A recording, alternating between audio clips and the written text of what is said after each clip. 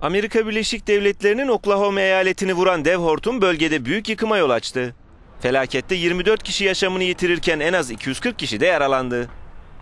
Saatte 320 kilometre hıza ulaşan ve çapı 3,5 kilometreye kadar çıkan hortum 40 dakika içinde Oklahoma City'nin Moore semtini harabeye çevirdi.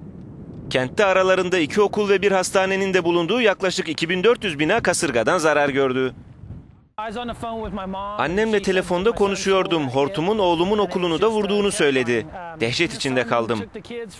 Öğretmenleri çocukları koridorlara ve kapalı alanlara götürüp yere yatmalarını söylemiş.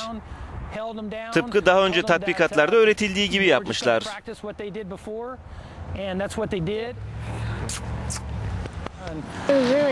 Gerçekten çok zordu. Bir an öleceğimi sandım. Çünkü rüzgar beni havaya kaldırdı. Gözlüklerim düştü, tavan uçtu. Her şey üstümüze düştü.